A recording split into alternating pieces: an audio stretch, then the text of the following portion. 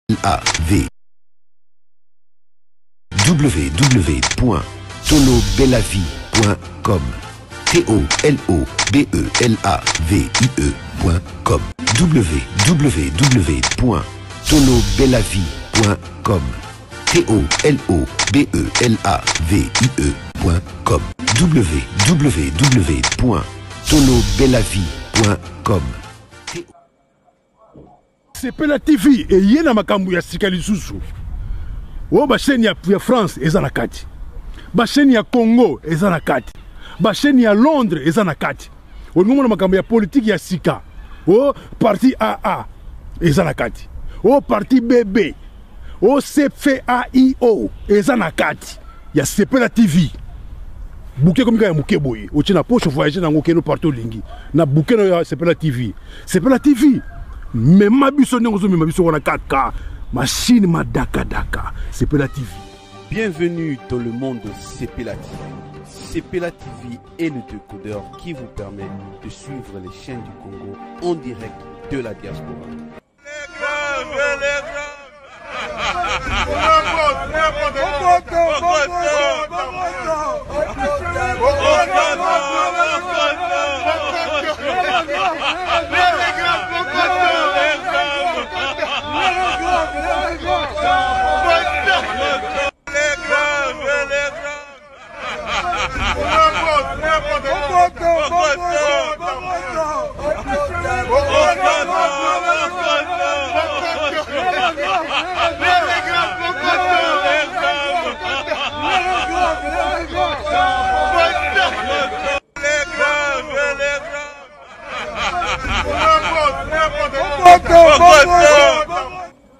Fidèles internautes, chers abonnés, bonjour et bienvenue sur euh, tolobelaviofficiel.com. Merci de votre fidélité, merci de votre disponibilité. Surtout bandeko bozolanda biso na Singapour, na zui appel moko outi Singapour. En tout cas, na comprendre que diaspora congolaise baza vraiment début diaspora congolaise balamuki mpo na masolo ya mboka na bango vraiment bolamuka boye parce que Na Congo nde tolobaki balandaka na bango information te mais diaspora en tout cas bon na Congo precisement na Kinshasa ya parce que tozwaka bapele ya bagoma ya bakote wana nyonso mais Kinshasa mwa moke yango tozolinga mpenza en tout cas ndeko benge ngai na Singapour euh, partageaka kaka bemission lisusu kuna bandeko mpena kuna bamonaka pourquoi topona option pourquoi toponi option kolobela mboka parce que tolobeli tosalaka nyonso na tolobela vie tosalaka tout mais soki otali bien okomona ke eloko moko eleki mboka na biso na, na valeur eza te eloko moko eleki kocomprendre mboka eza te eloko moko eleki kofaire comprendre bandeko mboka eza te yebisa ngai eloko eleki congo na minute oyo parce que ntango tobengami bacongolais kasi fo toservir mboka te biso babengami bacongolais kaka mpo babengaka congolais mpo eza par hasard ta ti obotama congolais yeba ke eza hasard te donc nzambe nde ntango nzambe ande osala mokili apesaki mutu na mutu na mboka na ye oyo ya biso eteni tozwaki babengi yango la république démocratique du congo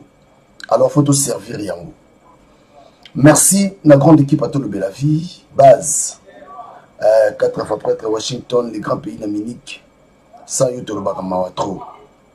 pourquoi ne pas toloba merci encore na alvaro shimanoka eric notre réalisateur steve malongweni toujours toujours merci na bana congo merci na bino toleki mpo tosolola ntango bazoloba tokota bokota bokota bokoto leri grave makambo ya kongo tozwaka yango lokola baaventure te tozoleka mpe awa mpo na kosefaire bastar te te tozoleka awa mpo tolamusa bandeko ya biso bayi mboka bakolo mboka bakolo kongo toleki tosolola nayebisaki bino lelo abete tour na kinshasa deja lelo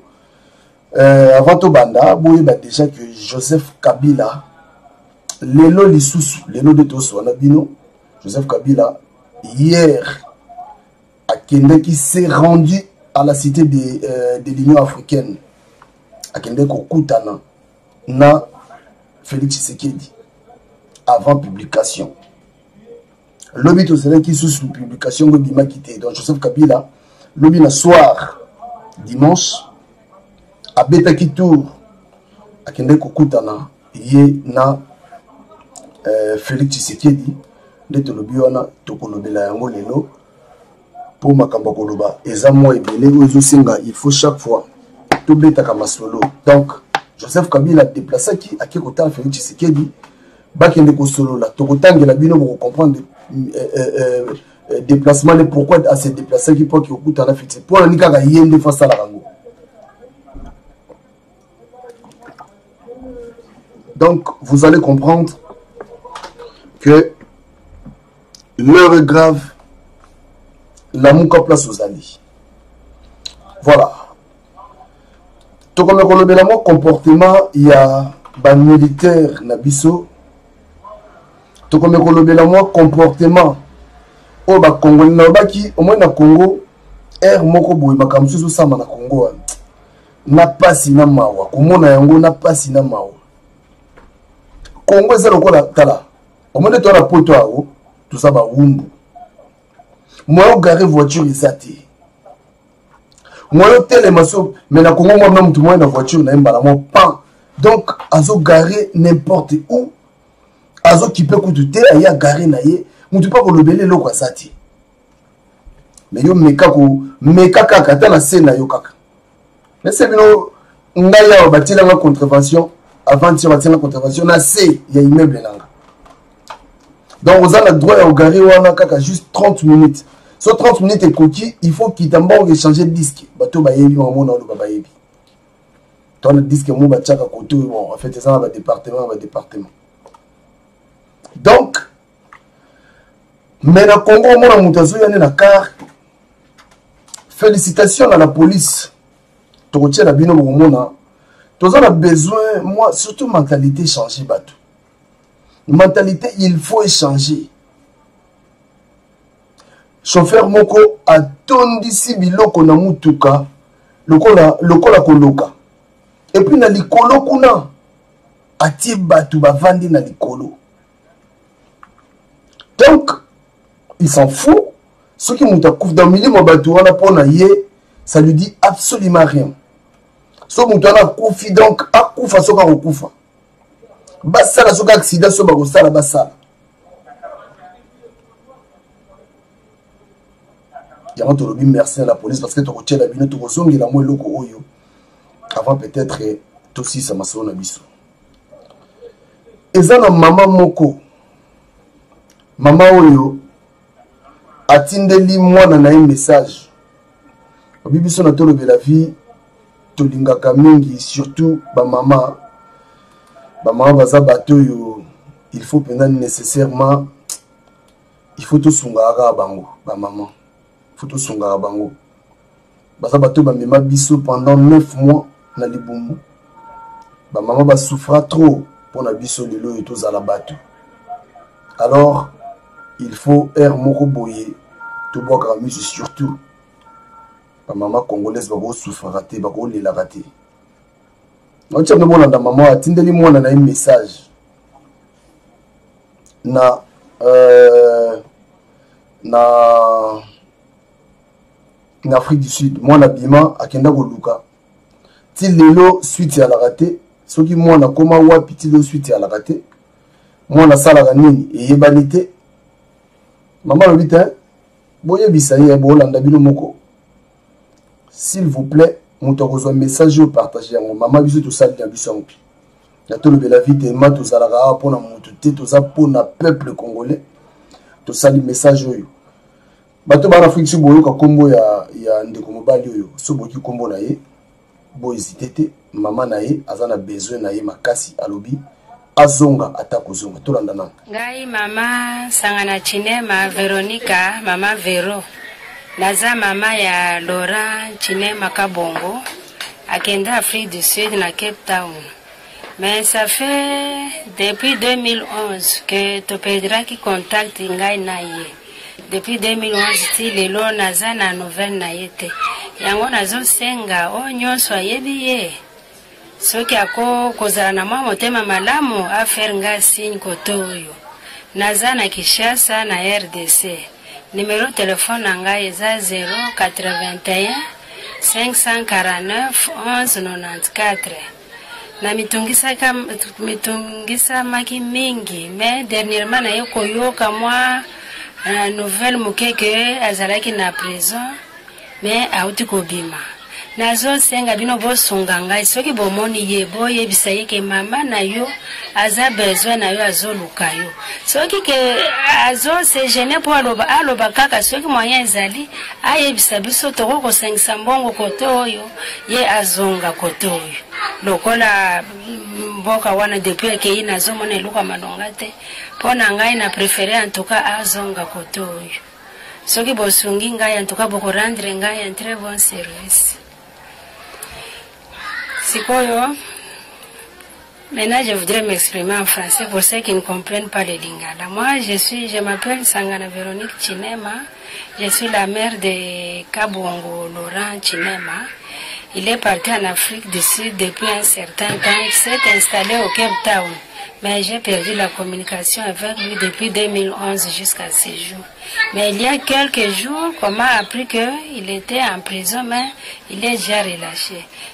Je demande à quiconque le connaît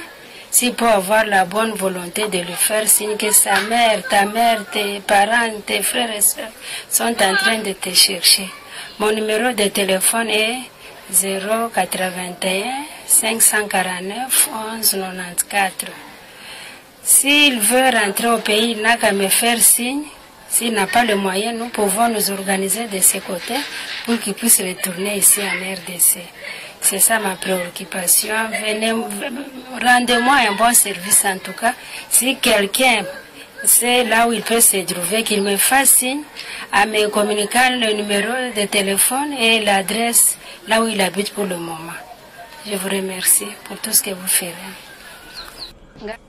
Voilà, je crois bolandi euh, message moto ayebi nkombo ya mwana oyo moto ayebi nkombo ya ndeko mobali oyo s'il vous plaît tambusa message oyo na afrique du sud bato nyonso baza na afrique du sud boyeba ke euh, mama aza koluka mwana mwana kenda euh, tobimaka mpona mpasi totika mboka na biso mpo na pasi mpo na souffrance soki souffrance ezalaki te tokoki kotika mboka na biso bongo te tokende bikendakenda donc soki tokenda eza mpo mpasi eleki na congo mpo eloko ya kosala na congo eza te yango tobima alors soki ozwi message oyo kokanga ngo mpo na yo te en tout cas luka ndeko mobali omona mama apesi meme numero na ye eh, bobenga ndeko mobali oyebisi mama naza na besoin na ye azonga na ye azonga soki esimbi nango te zonga biso mpe lati bande kobima oh, moto mosusu azongi na ye ntango mpe azongi nsima nde barecule pour mieux sauter donc misusu mpe bazonga esimba pourquoi ne pas okei boye soki ozosimba nango te donc yo kufuaku soki kufuaku nzela te soki omoni esimbi te en tout cas mon frère ma soeur zonga na yo c'est simple comme bonjour voilà merci euh, je crois ezalaki euh, ezalaki mwa eloko moko ezalaki très important parce que il faut toyede maman alobi oyo akozwa message botambusa message biso na tolobela vi tolokoti yango totambusi message eh, moto nyonso akoye oyo ayebi mwana mobali oyo oyo ayebi ndeko mobali oyo en tout cas yebisa ye que eh, asala effort parce que bamama bakomi mikolo boye oya koboma mama pamba na souci banda okenda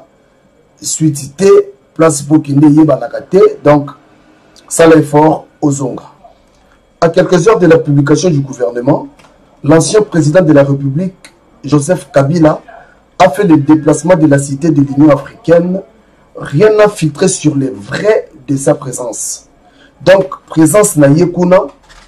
eloko moko ebimi te, c'est-à-dire nenga betaki tout Rwanda, baluki bayeba, mais vraiment bayebi te parce que eza vraiment ya kobombama. Mais pour la nini kaka y à ça asala déplacement na ye akende sous kuna est vraiment la nini est ce qu'il faut que joseph donc ben, mboka moko joseph kabila est ce qu'il faut que ye nde C'est selon certaines indiscrétions L'ex-chef de l'État et chef de la majorité parlementaire actuelle s'est rendu à la cité de l'Union africaine pour le dernier réglage avant l'annonce du nouveau gouvernement. donc akei kuna mpo na dernier réglage dernier réglage wana toyebaki ke félix tshisekedi ye moko nde moto alobaki parce que ye nde moto aboyaki bakombo alobaki ke non euh, baprovince mosusu mpe il faut eparticipe euh, bapersonne euh, oyo baza euh, na bandicap et tout il faut mpe baparticipe donc c'est à dire raison oyo félix tshisekedi aboyaki ya liboso ezalaki trois province moko efalaki mpe bazala cest dire baprovince mosusu emonanaki te et puis deuxième raison ezalaki il faut bazwa un représentant de personne avec handicap mais joseph kabila présence na ye akei kosala nini joseph kabila a été invité pour le remplacement de trois non retenus donc babengaki ye akende donc ke ye moko te donc joseph kabila azojoue rôle moko ya gaillard na république démocratique du congo soki tokocomprendre te donc akendaki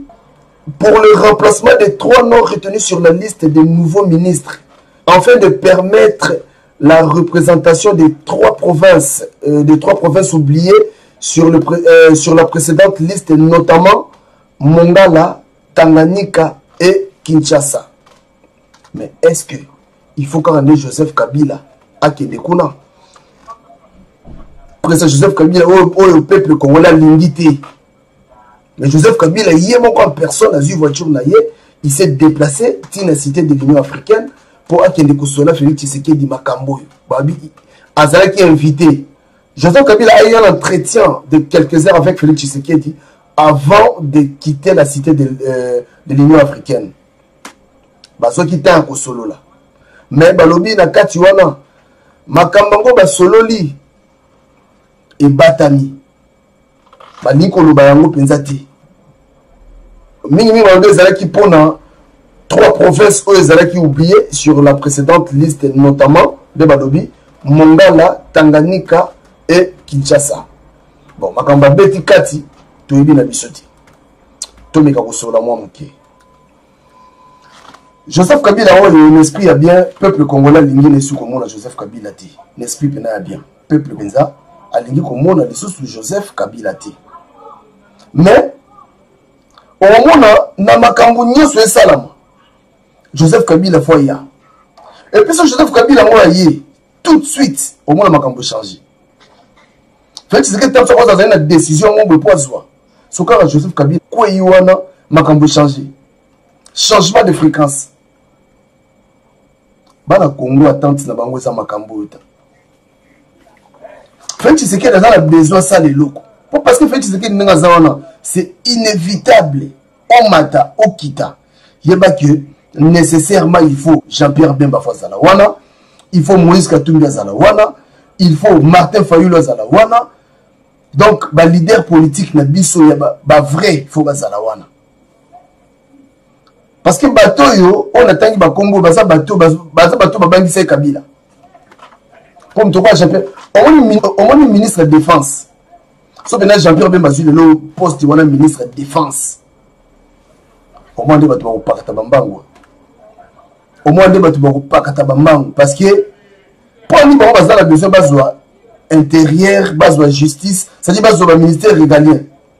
parce que bayebi keski bango barécupere biloko wana bakosamba te parce que bango fo bapasse na justice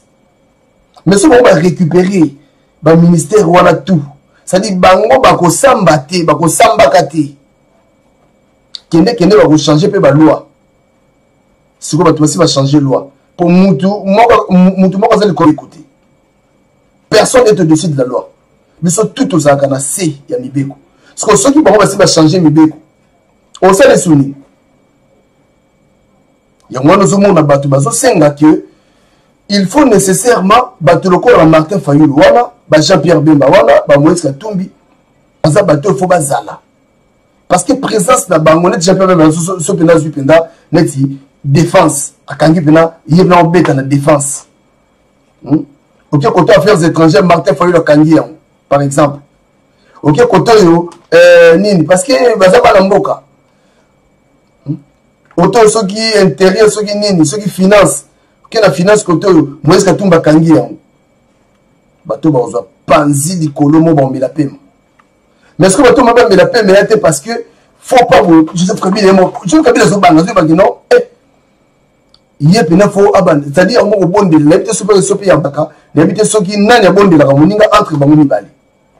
mais na minute oyo félix tshisekedi président de la république tala bana kongo tosazarde te baproche oyo boza pembe na fei tisekedi boyebisa ye ke moment oyo ou jamais parce que na moment oyo fei tisekedi afongoli kaka misu joseph kabila kopakata mbango motu moko abengana azala te ye moko e eh, eh, nani bemba eh, nani mo yango wana omoni bango bazosepela bazoprofite na kabwani oyo opposition aza nango to tshisekedi so ozwaki pouvoir malgré makambo nyonso toyebi mais si c'est pour koaide congo soki eza mpona komatisa nkita ya mboka soki eza mpona otravaille na bana congo mwana congo moko aboya ozala ata mais soki ezali mpona koaide koaccompagne encore l'occupation mawa trop mawa trop donc il est grand temps gouvernement nano ebimi te eza na minute oyo yo mozo sentir eza ke non tala makambo eza makambo te ke na ntango eza na ntango okabwana te tosala makambo mosusu ba séparation ba division na bino bota totala yango nsima na minute oyo toza na besoin to sauver notre république bato basali 18 ans basali rien mpo ya nini bango bazali na besoin bazwa baposte régalien baministère régalien parce que bayebaki ke soki barécupere yango donc déjà makambo ya kosamba ekozala te bacompte à rendre ekozala te après bake bachange masolo mpo batikala balare na bango libela libela libela libela tala baraison tofongola miso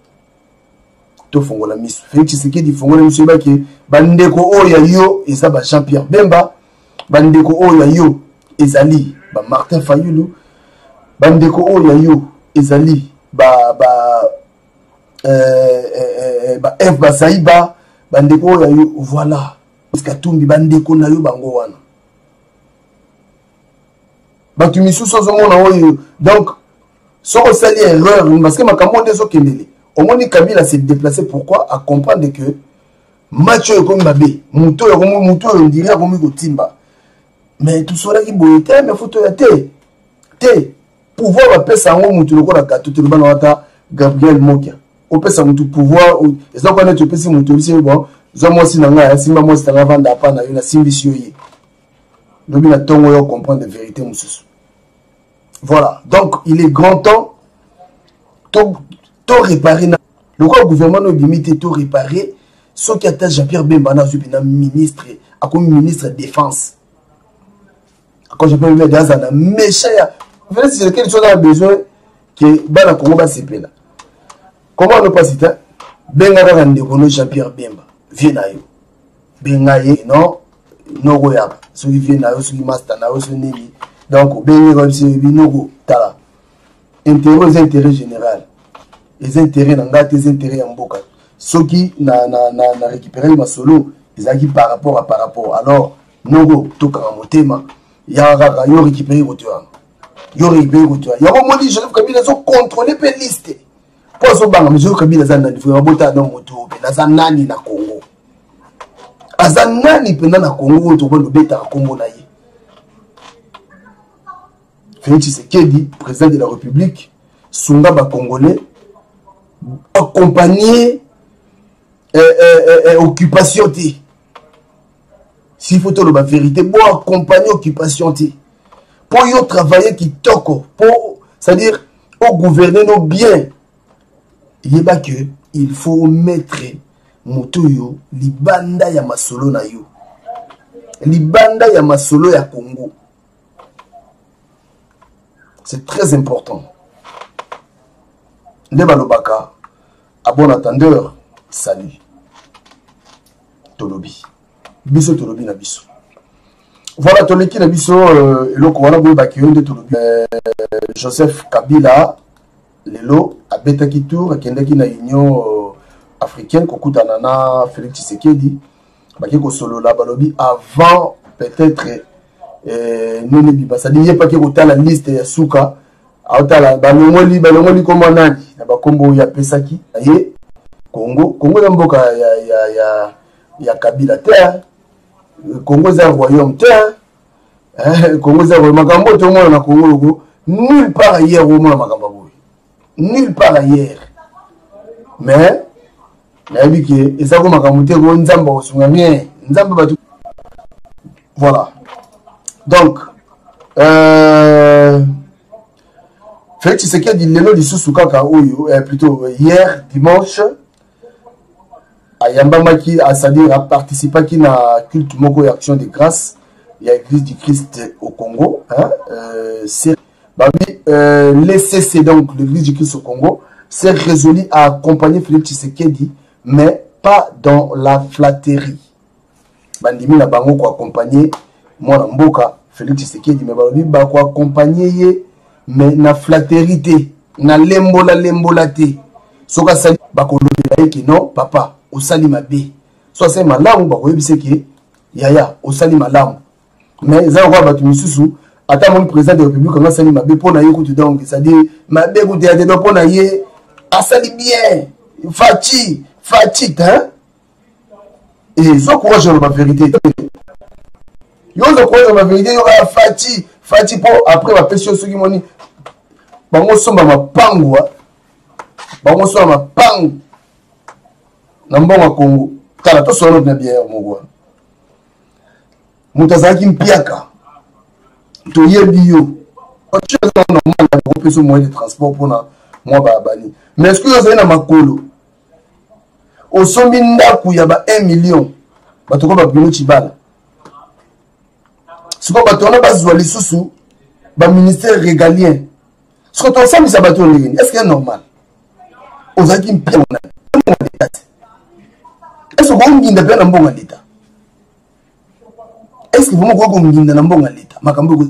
nulle part na mokili moto azalaki mpiaka boyebi eke nao anda ofutela place oyo ezwa ata mwa temps mpe te aso mpe ata mwa lopanta na mwa bacommune moko un peu défavorisé abandi mpe mwa temps mosusu mwa kotonga ndenge ezala male male male male male mais mwa mpe mama odu apele mpo na ma campagne e politique ya vrai cope mbongo makila papa mbongo makila mbongo bana congo bazo souffrir makambo te moto politique il faut tolongola yango coopération politique eza kobongisa mboka en tout cas ah, mboka na biso soki moto lokola euh, apôtre shora kwetu napesi yo mbote apôtre shora kwetu soki bapasteur julien bato wana basimbi mpenza gestion ya mboka na biso non omonake mutu nde tolobaki awa naloba yango chaque fois moto azovoyagaki mboka moko boye apotre shoka kwetu wana ake ake mboka moko bomi ake kabila bato ba biloko hmm? basalisi olakisa bino baimage mpo baimage ezali exemple malamu nde ya kosala yango wana te moto moko boye yango kutu ka moko azotambola nango me omona azokaba bakopesa badon boye ye azwi akabi badon wana mpa bato apotre shora kwetu Papa Nzambe pesa yo ta grâce lobi pena moto akoya koma président de la République ya, ya, ya, ya Congo bolingi kaka motu mo c'est-à-dire politique ekoma coopération donc moto azalaki ne mpiakere lobi kaka boye pum azwi oh, banome yango monisi banome bango mwana bango motya na fufu na poudre otapui ya lopango na maman a ah, donc deja funa paye na, na ma campagne funa paye na, na gombe fona paye na bono cibala nyonso bayebaki ke bana ngo roger lumbala yo olingaki kaka ke ye azala kaka kofutela donc baye na moyibi na société baye na kimoyi ya leta yango wana moi baposte wana baposte wana ekoki kuna te parce que so eke kuna donc laisse ya leda la kabili va continuer baconnerie na bango voilà verité yango wana toleki na biso tobeta lobaki ere moko boye lwafu ezala na mboka ere moko boye bato mpe fo bayebaka meme kobanga mibeko ya leta mpo na bato bakobanga mibeko ya leta te bokolanda na otyela bino na suka bomona soda oyo makambo azoloba alobi biloko charge donc batie na bato ti likolo mais alekaki bakote wana kuna nyonso ndenge nini yango bato ya bapolisi yango baya na miso te corruption papa corruption ya ya niveau ya corruption eleki ndelo cop so tala niveau en tout cas coup de chapeau na la police oyo basali mosala oyo biso tobeteli bino maboko hein? bavie ya bato eza en danger tala papa yango ndenge acharge motuka ezalaka ta soki bande koleka ndenge amesana kosala bongo la police en tout cas la police congolaise général kasongo ça va jusque là pena en tout cas ça va po futi oloba makambo ndenge ezali bato makambo basali oyo misu batikali ti lelo ya baza nano na na na esprit ya kimoyibi tozoloba lelo azalaki maboko mpamba batie kote mo babuki mpe kesa leta asombi ndako abuka kesa leta bakanga bakangi ye mpe ntango soki wana mpe bakokangi ye mpe te awuti nango lufu aye nango ti kishasa ndenge nini aleki na bato likolo batie mpe de kiti likolo bolanda bino moko wana donc d'ici là botika malamu moto akolanda eloko oyo ebongo tokomeka kozonga mpona tosisa intervention na biso ou soit topesi bino déjà revoir mpona biso Par exemple, mutuka oyo boza komona eza na sima na ngai. Dans quel pays omona chargement ya boye? Notre chef, le commissaire provincial ya ville province ya Kinshasa apesaki ba ordre mpo na appui PCR que le territoire il faut to appuyer PCR na rôle na bango ya ko régler circulation. Mais quand vous trouvez ba chauffeurs ya modèle oyo mutuka oyo meme mutu afabrikaki mutuka oyo soki amoni yango vraiment ako regrette mutuka oyo c'est prévu pour emema batu mais pas biloko mais tala chargement oyo ye atie likolo nayebi te soki eza remorque ou bien soki eza mutuka nini ezali aleki na ba barrière nyonso kolongwa louf ti akoma na kati ya centre ville ya Kinshasa ndenge nini on se pose des questions parce que soki otali likolo soki bofilme très bien likolo il y a eu quatre personnes na lichese batia likolo kuna likolo ya biloko oyo bato baza kofanda likolo kuna quel risque na kati lisusu bato na kati ya marchandise baza kofanda quel risque soki motuka oyo ebaluki eske motu wana akoki kobika c'est pourquoi on se pose des questions baleki nzela nini baleki ndenge nini pour que charge eh, mpona bango baleki na nzela ya district ya funa epai ya colonel carl lewis awa mabe ekoki koleka te c'est pourquoi omoni baza interpelle mpo epesa leson na bachauffeur mosusu oyo baza kosala bachargement ya boye kotia population na risque kosekirize population na biloko na bango kosekirize mutu ce ne pas seulement kokende kolala na ndako ne mpo moyibi akota te mais sécurité ya liboso ezali ya sante ya mutu il faut kosekirize sante ya mutu mutu oyo aza komata likolo ya marchandise oyo aza na insecurite il peut tomber accident ekoki koya aza ata na moindre pourcentage ya kobika te aza condamne na liwa c'est pourquoi toza kobenda matoi epai ya bachauffeur nyonso oyo baza kosala bachargement ya modele oyo bakonzi baza ko va payer des fortes amendes avant quitter awa et puis mokolo motuka oyo atala mosala la polise ezosala parce que motu oyo alingi ye te motuka motu atiyaka yango na nzela pour ke eede ye eza commerce me ntango motu aza koutilize motuka boye aza mobomi aza mobomi aza meme ran na bacriminele Parce que aza kotia ba vie ya bato na danger. Aza kotia vie pas seulement ya bato oyo ye amemi, meme ya propriétaire ya mutuka oyo oyo atiaki mbongo na ye ya jeu pour que agagner quelque chose famille ene c'est un criminel parce que akopesa ye baversement oyo te ye akopesa ye versement ya journée natambolaki or te ye akei kocharge mutuka na, na modele oyo Je ne pense pas que Kolo Mutuka akoki koyeba makambo ya boye pe a autoriser yango. Soki andimi yango, Kolo Mutuka aza koya pour que tolakisa ye comportement ya chauffeur na ye.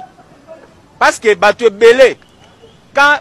PCR ou bien police ba interpeller Mutuka balobi tracasserie. Est-ce que biloko ya boye eza tracasserie? biloko ya boye vraiment tokoki ko permettre yango inde mboka pourquoi oyo mokonzi ya mboka aza koloba ke to changer mentalité bopeto bopeto wana ifo ebanda na matal bopeto ebanda na matal nde kokita na environnement mais soki mentalité na biso mutu na biso bopeto ekoti na kati te ndenge nini ekokoma na environnement ekokoma biloko batya na depo soki baclient baye alobi Ba charger biloko.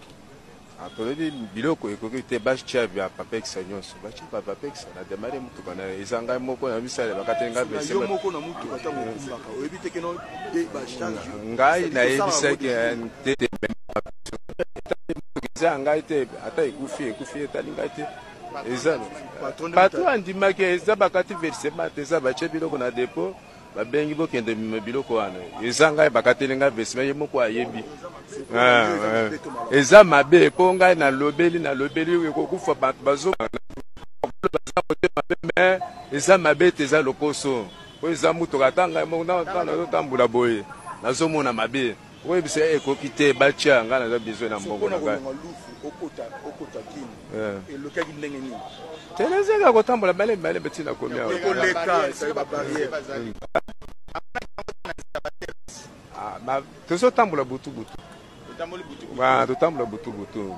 toyoka tokima baremorke hmm. ayebi te ye aza na alufu ayebi te panda na vandi ayebi te